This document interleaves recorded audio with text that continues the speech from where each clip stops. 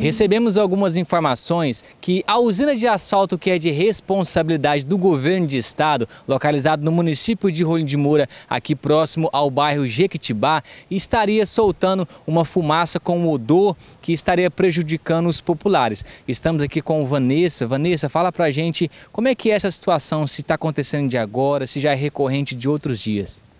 Não, é uma situação que já vem recorrendo há bastante tempo. Nós já fomos no Ministério Público, fizemos denúncias, o próprio Ministério Público veio ali, veio aqui na, para comunicar para nós também, que, segundo eles, o problema que tinha no filtro deles, que eles iriam trocar esse filtro para estar tá sancionando o problema. Mas foi questão de dias, voltou novamente, é uma fumaça branca com bastante odor, onde afeta o olho da gente, fica queimando, o cheiro, queima o nariz, dá dor de cabeça. É uma coisa assim que não é uma coisa assim relativa, é uma coisa que é frequentemente, diariamente a gente sofre com isso aqui. Não sei mais o que, a gente vai fazer. Já fomos ao Ministério Público, já fizemos denúncia, agora a gente está recorrendo à imprensa para ver se a gente tem alguma resposta relacionada a isso. Em menos de 24 horas, a nossa equipe esteve no local mais uma vez e logo pela manhã a usina já estava funcionando.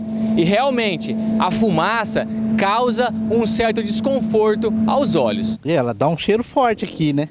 Quando o vento bate de lá para cá, a gente vê um cheiro bem forte.